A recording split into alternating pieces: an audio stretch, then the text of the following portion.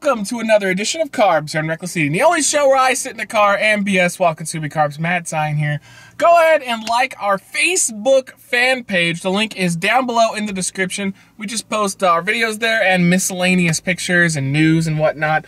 We are going to go back to an old video, which was a Baja Blast comparison with Mountain Dew Sangrita Blast. So this is the bottle. I did not do can. Last time it was can versus cup. This time it's cup versus bottle.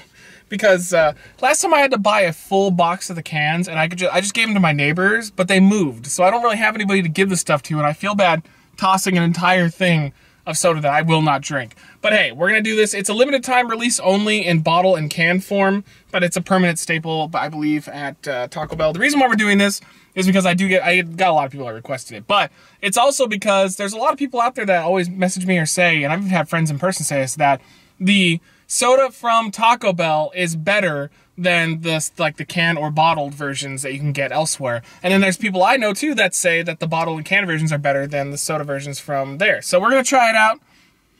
Uh, I remember I liked this a lot. It's very tasty, but we're gonna we're gonna battle them out and we're gonna see which one is better. First off, let's do the traditional. This is this came first. This is from the tap at Taco Bell. It's very delicious, very very berry heavy. All right, now this one. Let's do it. Oh man, there is a slight difference. I think it's because they have to mix. I believe they mix their syrups and stuff at the actual locations. And these are all, all just pre-made, so they're all going to taste the same. Let's get one more sip. I think I know who I'm going to pick as the winner, though. The bottle are definitely for convenience, but at this rate, I do think that the actual cup version of this, this tastes a lot better. It, they're, eh, of course, incredibly similar, but I taste a little bit more flavor out of the cup version. I taste a little more of that oomph, which again, it might be because they maybe they add their own amount of stuff to it or syrup or whatever with the mixed concoction.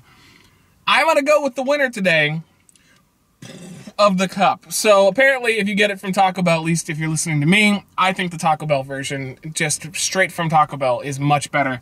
But this is not shabby at all. Both of them are delicious, and uh, if you ever miss the review, you can go in the description for the original review of this bad boy. But hey, there you go, guys. That is another battle. I had a lot of people messaging me asking me to uh, battle the products.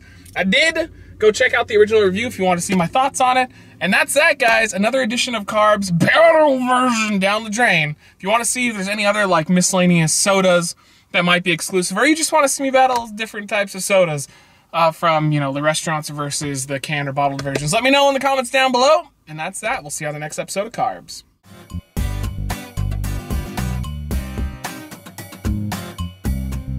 Wreckless eating! Wreckless eating.